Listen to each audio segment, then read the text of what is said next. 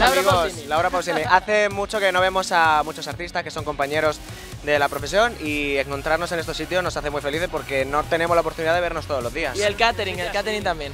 Yo creo que, si- siendo súper honesto, es que te encuentras con gente que no que hacía tiempo que no veía.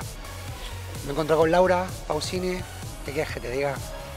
Pues ella es maravillosa y además tengo que decirte que hacía tiempo que no la veía.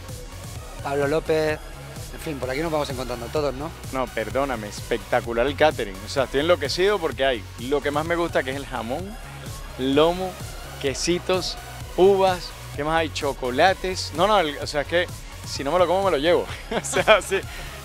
Pido un tupper y vámonos, que esto no lo llevo, pues eso no. Los que voy a encontrar. Hasta el momento he encontrado a mi amadísimo Orozco y su abrazo no lo voy a olvidar. Amo las amistades que tengo con eh, muchos cantantes españoles. Estoy buscando a Pablo porque estaba también y pues entonces debo darle un besito y he encontrado Bebe. Estoy contenta, es una ocasión única para encontrar a otros músicos que creen en causas como estas.